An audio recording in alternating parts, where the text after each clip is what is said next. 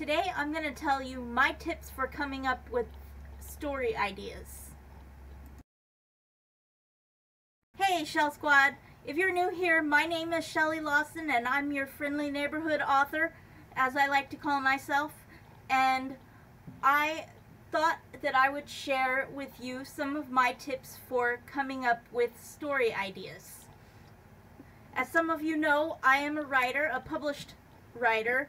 I have written, I have published two books. Here they are, A Change of Pace and Mother of the Groom. They are available on Amazon and at the link below. And uh, so I have a track record of keeping stories going until the until the publication stage. Um, and what I do to come up with story ideas, one, number one is definitely write what you know. Um, write about what's unique about your life or what you would do in such and such situation. Um, what I like to write about a lot is, um, well, I don't particularly, well, it's complicated, but what I am currently writing about, the book I'm currently working on, is about uh, illnesses that I have that uh, cause a lot of conflict in my life, and of course, it's great story fodder for that.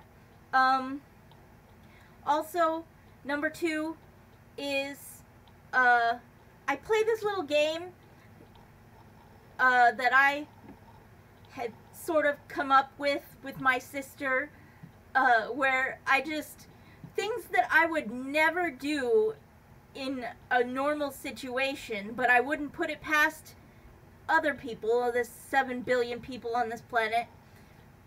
Some of them have, have done some pretty insane stuff, you know.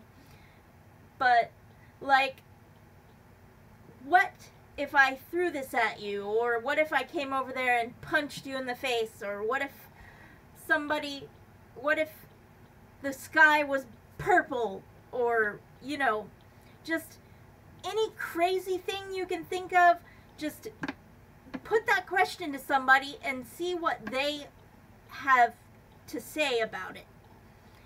So those are my two uh, tips. And I'm sorry this video is so short, but I've got 10 million things to do.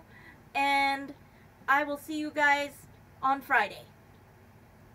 I've got a new project that I'm working on that I'm really excited about and I really want to see you guys subscribing and liking and also I'm doing this thing where if I get 65 uh, subscribers by Friday I'm doing a giveaway so you'll have to tune in for that for sure.